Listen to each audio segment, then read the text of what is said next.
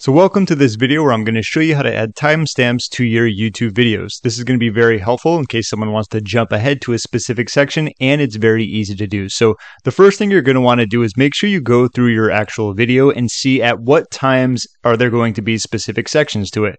I did it with a very quick one where it says how to disable comments on YouTube. So what I actually did is I just went through, I wrote it down like this. And the biggest thing here is that make sure you add these specific numbers like the time right here. So I just copied all of this and I'm going to paste it in here. And normally say like if this was going to be a different video, I like doing an introduction. So zero, zero, colon 00, we have our intro. And if this was a different video, say it starts at like zero, zero, and then like, you know, 34 seconds, this is going to be how to XYZ, whatever the video is. And maybe you have one other main section if you want to do, say, five minutes in. We have five minutes and say 45 seconds. And we also have how to whatever ZYX. Okay, so that would be an example example for a different video, but the times here is exactly how you're going to be doing this. So I'm going to hit save since this is accurate based upon like the timestamps here. I also believe that they have to be around at least 10 seconds each. Like you can't do introduction and then the next one like four seconds later. So don't 100% quote me on that. I think that's what it is, but